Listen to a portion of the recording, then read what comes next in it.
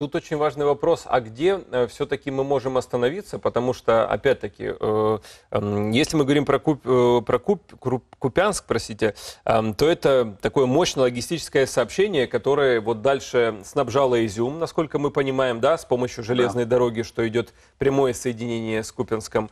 А, вот если сейчас идет борьба за Изюм, то это фактически основное будет разрушение российской группировки в этом регионе.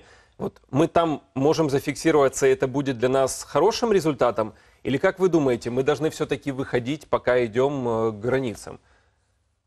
Все зависит, э, еще раз говорю, все зависит от наличия резервов. Главное uh-huh. не растянуть войска на очень большое расстояние, чтобы плотность войск не стала э, критической для нас.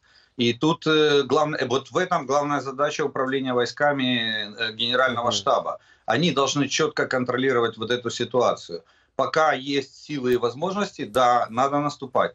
Когда есть понимание того, что э, э войск недостаточно для удержания, одно пол, полдела захватить, и освободить территорию, но, но ее еще надо удержать, если, потому что противник будет пытаться э, наносить э, контрудары, контратаки. Вот. Так что здесь, вот здесь э, главная роль э, генерального штаба в плане управления войсками, в плане оценки с наших возможностей, наших в первую очередь.